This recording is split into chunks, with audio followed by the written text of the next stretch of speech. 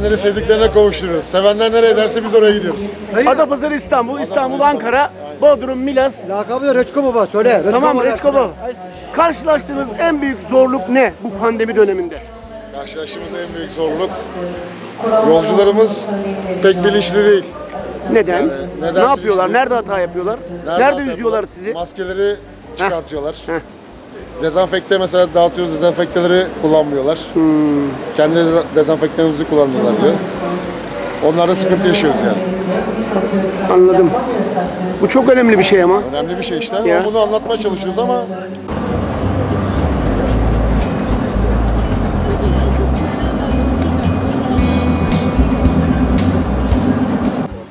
Bak mesela otogarda mükemmel önlemler alınmış.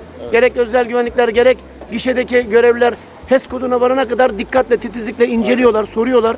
Ve e, HES kodu olmayanlara kesinlikle bilet kesmiyorlar. Bu çok güzel bir şey. Aynen. zaten kestiğimiz takdirde ceza işlemle karşılaşıyoruz. Ya. Yollarda sürekli çevirmeler oluyor. Ya. Siz İstanbul hattında mı çalışıyorsunuz? İstanbul hattı. İstanbul hattına giderken yolda Gebze'yi de geçtikten sonra e, karşılaştığınız en büyük zorluk, güçlük ne? Trafik. Trafik değil mi? Aynen. Şu dönemde bile insanlar herkes tek tek araçlarda yani.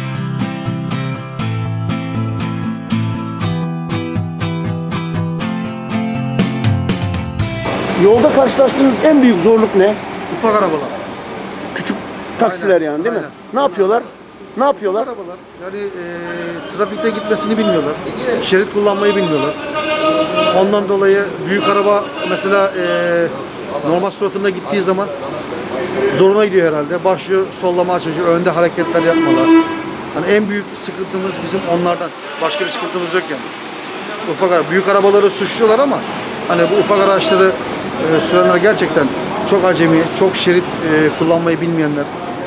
Bu arada İstanbul Emniyet Müdürlüğü'nün titiz polisleri de gerekli incelemeleri yapıyorlar ve bu da halka huzur ve güven veriyor. Aynen. Aşırı derece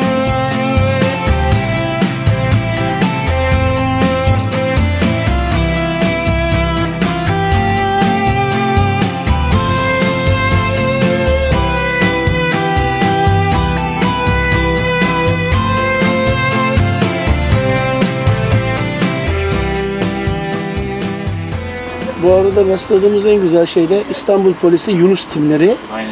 Ee, burası mevki olarak tam neresi oluyor? Göztepe. Göztepe'de. Ee, motosikletlere, araçlara neyi gözlerine kestilerse onlara çalışma yapıyorlar. Biz de sizler için onları İstanbul seyahatimizde haber yaptık.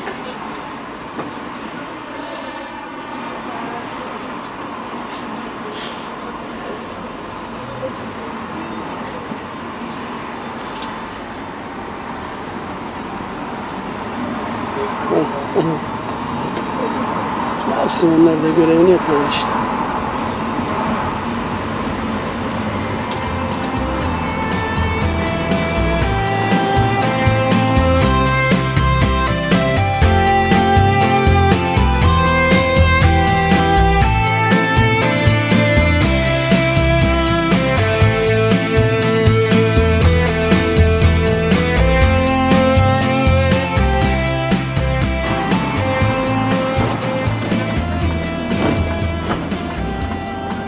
Yolda gider gelirken karşılaştığınız en büyük zorluk ne oluyor?